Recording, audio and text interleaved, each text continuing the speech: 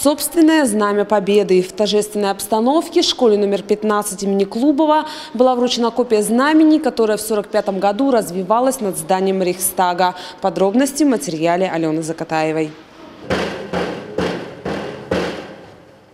Копию знамени директору 15-й школы вручает ветеран Великой Отечественной Владимир Сазонов. Он служил в одном подразделении вместе со знаменитыми бойцами Егоровым и Кантарией. Именно они 1 мая 1945 года водрузили штурмовой флаг на куполе здания Рейхстага в Берлине.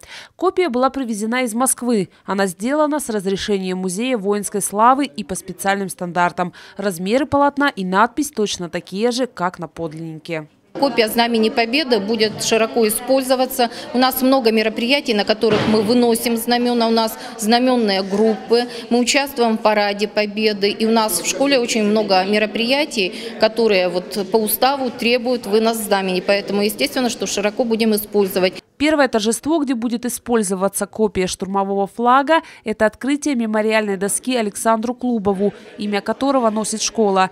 Копия Знамени Победы планируют выносить и на мероприятиях, приуроченных 9 мая. Они проходят в рамках городской акции «200 дней до Победы» во всех образовательных учреждениях Вологды.